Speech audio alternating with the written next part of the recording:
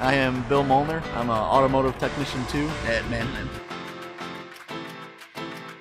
I just started tinkering around with stuff at home, my own vehicles, and then found out I enjoyed it. So just little stuff to start, and then started messing with bigger stuff. Just inspected them, measured brakes, tires, made sure all the electronics work, all the weather strips aren't torn. This one's the oil change, I do the air filter, and two tires.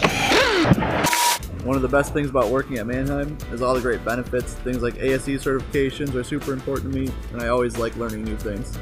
There's very busy. There's people everywhere.